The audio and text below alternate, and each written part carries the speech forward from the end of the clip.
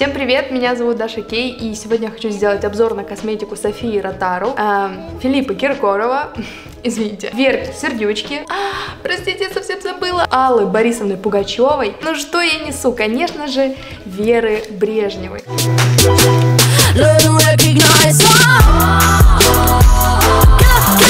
Вера Брежнева запустила собственную линейку косметики, которая запустилась вот буквально сегодня я ходила и как обычный, обыкновенный покупатель шарилась по магазинам «Золотое яблоко» и купила себе палетки и много чего другого. Там помады, карандаш для бровей. В общем, мы это все сейчас посмотрим. Для меня это был шок. Немножечко необычно и, э, в принципе, интересно. Поэтому я и решила попробовать э, эту косметику. Я ее посводчила в магазине и хочу вам сказать, что в принципе не все так плохо, поэтому давайте начинать. Что вообще представлено в этой коллекции? Палетка теней, три штуки, ну, три вида. Я купила одну. Палетка хайлайтеров и скульптурирования. Конечно же, помады, гели для бровей, карандаш для бровей и тушь. Ну, вот такая вот еще мне открыточка досталась. Видимо, писала она маркером. Приятно. Сколько же мне пришлось заплатить за эту чудесную косметику? Начнем с того, что я была в день презентации. За каждые три с половиной тысячи мне давали подарок. Раз подарок, два подарок, три подарка. Я думаю, несложно будет посчитать, сколько будет три раза по три с половиной тысячи. Месячной моей зарплаты больше нет. Короче, вот чек. Ну что, будем начинать? Давайте сюда. Я хочу максимально честно и непредвзято отнестись к этой косметике, а, по факту разложить, нужна ли она вообще на рынке, мое личное мнение. А, я хорошо отношусь к Вере, мне нравится, как она поет, но, в принципе, наверное, это все. О бьюти-начинаниях ее я не слышала. Начать бы я хотела с вот этой вот палетки. Палетка для контуринга и подсвечивания лица. Палетка стоит 3200 рублей. Hi, sisters! Не буду лукавить, весь этот запуск вот такого вот нюдового цвета мне напоминает, конечно, Ким Кардашьян. Очень похоже, не буду говорить скопировано, но очень похоже на палетку Ким Кардашьян для контуринга. Палетка от Ким стоит 30 долларов, ну, то есть где-то 1900 рублей. Как бы сейчас я сделаю сводчи,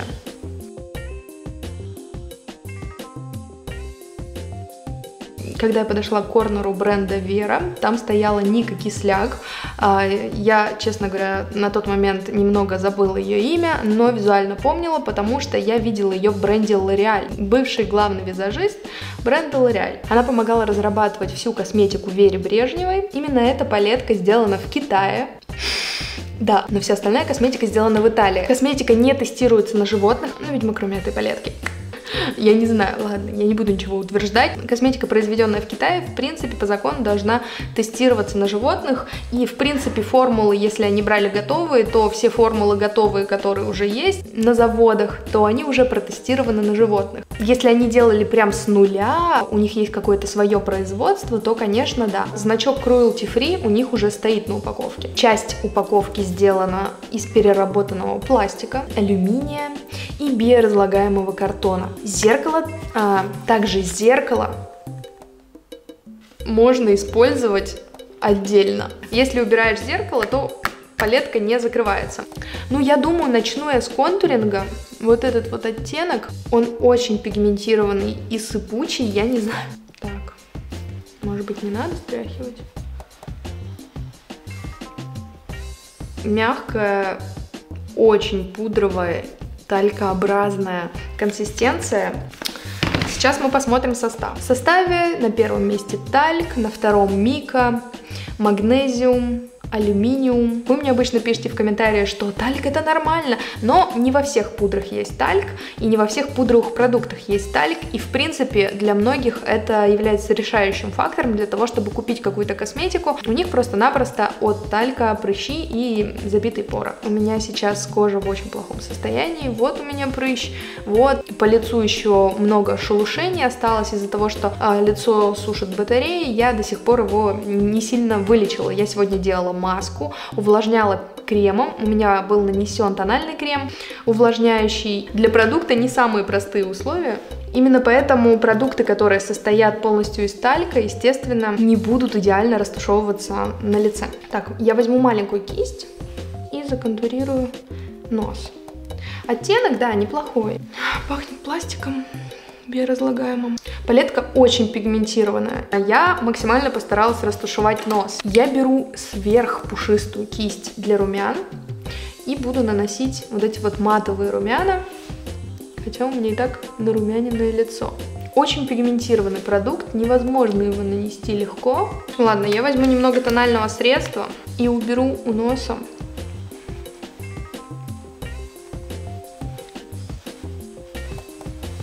Дубль 2. Набираю немного румян, наношу на, даже на скулу немного. Я так понимаю, это тоже просто голографичные немного румяна. Очень легкое у них сияние, прям, ну, незаметное. Скорее всего, их нужно использовать вместо румян, может быть. Как вообще действовала Вера? Такая думает, ну, контуринг все любят, румяна все любят, если она как бы создавала продукт сама, не копировала. Так, хайлайтер на руке деликатный, действительно на скулах он все такой же деликатный. Хайлайтер переливается красиво, но вы видите вот это пятно? Это пятно от контуринга, и оно не растушевалось именно по той причине, что его текстура для сухой кожи не подходит. Из этой палетки мне понравился только хайлайтер, он очень деликатный и красиво смотрится. Это карандаш для бровей, стоит он 900 рублей страна производства Чехия. Я спросила, какой финиш все-таки у этого карандаша, он восковый или он пудровый? На этот вопрос точно мне не ответили. Сказала, у всех карандашей формула немного отличается, э, именно из-за смешивания оттенка. Именно этот более восковый. Когда я его засводчила, мне сразу же вспомнился карандаш от Essence, которым сегодня у меня были накрашены брови. Как по мне, немного похожи. Воск очень быстро сходит с моих бровей. Если ваша кожа жирнится в течение дня, то, естественно, карандаш на восковой основе расплавится на нем. Я хочу накрасить одну бровь карандашом от Веры Брежневой, а вторую бровь карандашом от Essence. Карандаш от Essence тоже на восковой основе. Это карандаш Веры Брежневой, это карандаш Essence за 100 рублей. По текстуре плюс-минус они очень похожи. Этот карандаш немного потеплее. Для меня это где-то 6 лайчочков из 10 за такую, по крайней мере, стоимость. Идем дальше, и это гели для бровей. Прозрачный и оттеночек номер 3 под названием Dark Blonde. Такая спиртовая немного отдушечка. Ага, алкоголь в составе геля для бровей. Бровку с карандашом от Essence я накрашу прозрачным гелем, а бровку с карандашом от Веры Брежневой я накрашу цветным гелем для бровей. Упаковка мне немного напоминает э, контуринг от Шарлотты Тилбери. Мне нравится эта упаковка, туши Гурмандис продаются в такой упаковке. Гелевая тушь для бровей стоила 1200 рублей. Здесь такая маленькая-маленькая щеточка. В принципе, удобно укладывать бровки. Этот гель для бровей сделан в Италии. И это коричневый гель для бровей. Он идет с микроворсинками, как вот сейчас в новомодных гелях для бровей от 2015 года Anastasia Beverly Hills. Так, я не очень люблю... А! Я не люблю цветные гели для бровей. Так, да, слушайте, гели для бровей прям хорошо ложатся на брови. Я не люблю цветные гели для бровей, но вот этот мне прям понравился. Он создает такие легкие волоски на бровках. Поставлю гелю цветному для бровей 8 лачочков из 10. Два геля для бровей. 3000 рублей. Для Москвы, возможно, да, окей, типа тут люди зарабатывают нормальные деньги. Зарплаты в регионах наших не позволяют покупать э, российскую косметику по такой цене. Ну, хорошо, она была сделана в Италии. Это же все-таки для российского рынка делается. Как можно выставлять просто цены зарубежного рынка? Долгожданная палетка для глаз. Это лимитированная коллекция vegan-friendly формула Baking Make uh, Materials. Я как бы не шучу, тут так написано. О, палетка сделана как раз из экологичного картона. Когда открываешь, то тут есть кусок, видимо, переработанного пластика открываются цвета этой палетки. Я взяла действительно самую красивую. Может быть не самую носибельную, но самую красивую. Точно также отрывается зеркало и можно его использовать после того, как закончится эта палетка, но я думаю, что закончится она не скоро. Зеркало палетка не закрываются. Они пронумеровали палетки как карандаши для губ. Немного странное решение, они просто написали 1, 2, 3, палетка, и все. Очень нежная текстура. Центре перфорация буквы В. Эта палетка похожа на палеточку девяток Huda Beauty, но по текстуре она очень напоминает тени от Наташи Денона. Сдала очень высокую планку, она хочет конкурировать и по цене, и по качеству с такими брендами, как Наташа Денона. Я возьму бежевый оттенок, очень пигментированный и вельветовый финиш именно у, этой, у этого оттенка. Как база неплохо. Дальше я возьму вот этот золотистый оттенок и нанесу его на все века. Они уже начинают осыпаться сюда, ну вот так смотрится как-то, как-то так. Я беру маленькую кисточку, набираю вот этого песочного голографичного оттенка, наношу этот оттенок на внутренний уголок глаза. Я думаю, что именно так предполагается наносить эти тени на Новый год. Я беру самые блестящие тени и наношу их на центр века. Осыпавшиеся тени я сейчас постараюсь смахнуть. Я накрашу этот глаз немного по-другому, чтобы полностью раскрыть эту палетку на моих глазах. Мне действительно интересно, что из этого получится. Так, что не переносится совсем. А, в общем, пока я наносила его кисточкой, все блестки осыпались. Попробую нанести пальцем. Ну, я могу точно сказать, это лучше, чем косметика Леди Гаги. Так, ну проходиться, конечно, консилером под глазами. Вот так вот смотрится оттенок на веке, прям полу-полупрозрачно. Несу ярко-фиолетовый оттенок на центр века. Возьму маленькую кисточку. Даже если бы эту косметику сделала бы София Ротару вместе с Филиппом Киркоровым, ну это смотрится красиво, я не знаю. И опять я беру карандаш от Essence и прокрашиваю им слизистую. Тандем Essence и Вера Брежневой. По нижнему веку я также пройдусь тенями. Мне очень нравится, как смотрится этот макияж. Остальные тени меня не так вдохновляют и впечатляют, поэтому э, матовые это вообще не моя история. Теням я ставлю 9 лайчочков из 10. Очень мне они понравились. Не нравится мне их, конечно, только цена. Я передвигаюсь к туше для ресниц. Там было представлено два варианта, объемная и тоненькая. У меня тоненькая, потому что объемную уже раскупили. Стояла я, конечно, там как за колбасой в СССРовские годы. Маленькая-маленькая щеточка. Сейчас очень актуально использовать вот такие маленькие щетки. Ими можно подлезть вот прям в корни ресниц. Моя любимая тушь это Vivienne Sabo Cabaret. Я пробовала использовать люксовые туши. Да, в принципе, прикольно. Эффект плюс-минус такой же, как у Vivienne Sabo, но стоит это, конечно, в 10 раз дороже.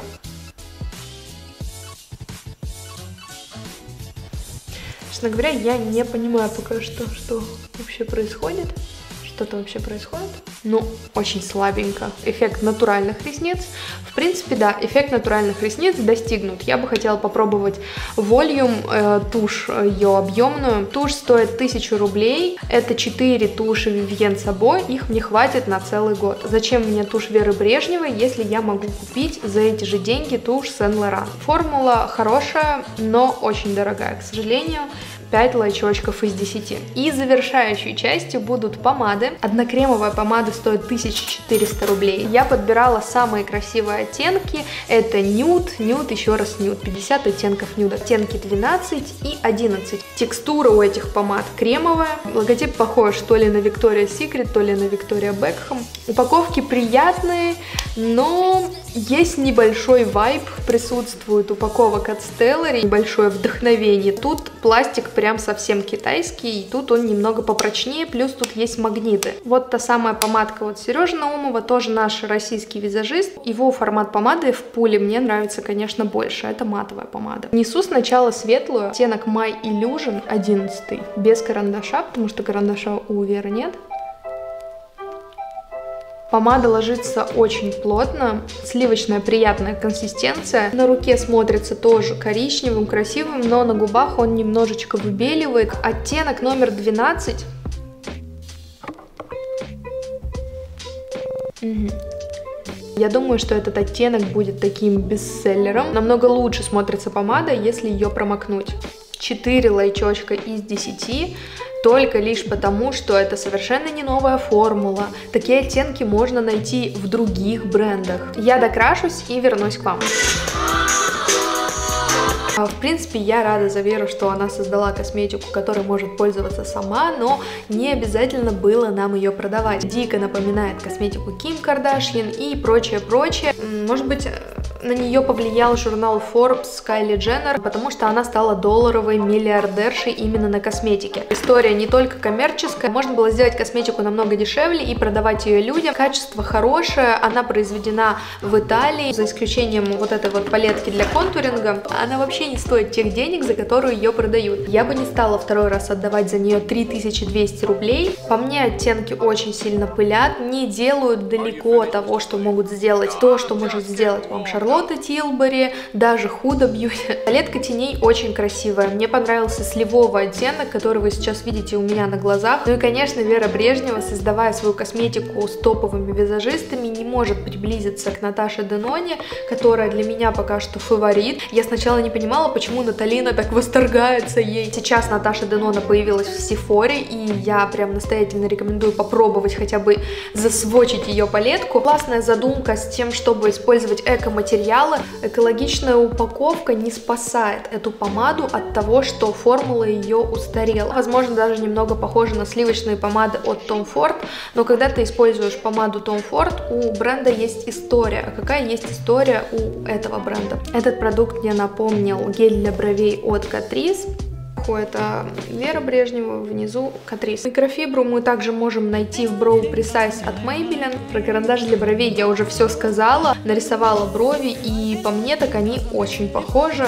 Эта бровь у меня нарисована Essence, а это Веры Брежневой. Мне бы не хотелось труды, которые сделала Вера, приравнивать к нулю. Она действительно сделала большую работу, сделала крутые формулы, взяла все лучшее, но из других каких-то зарубежных, либо уже придуманных средств. Ничего инновационного тут нет. Как бы вы не любили запуск Лены Крыгиной, у нее абсолютно инновационный продукт, несмотря на то, что Лену Крыгину часто сравнивали с Донессой Майрикс. У Лены это совершенно другой подход. Мне нравится, как она экспериментирует с продуктами и не боится делать только то, что вы будете покупать. Она сделала как раз-таки продукт для себя. В случае с Верой Брежневой тут абсолютно идет маркетинг. Это хорошо продуманная рекламная кампания, хорошо продуманные позиции, которые хочется купить. Но это не значит, что они нам нужны. Понятное дело, что как бы хочется поддерживать российского производителя, но хочется, чтобы российский производитель немного думал о нас. Что, ну в таком случае мы ждем запуск косметики от Оли Бузовой, Ксюши Бородиной, Ксении Собчак, от Аравшаны Курковой. Я надеюсь, вам понравилось это видео. Если так, то ставьте палец вверх, подписывайтесь на канал и... С вами была Даша Кей. До скорых встреч. Пока-пока. Увидимся в следующих видео.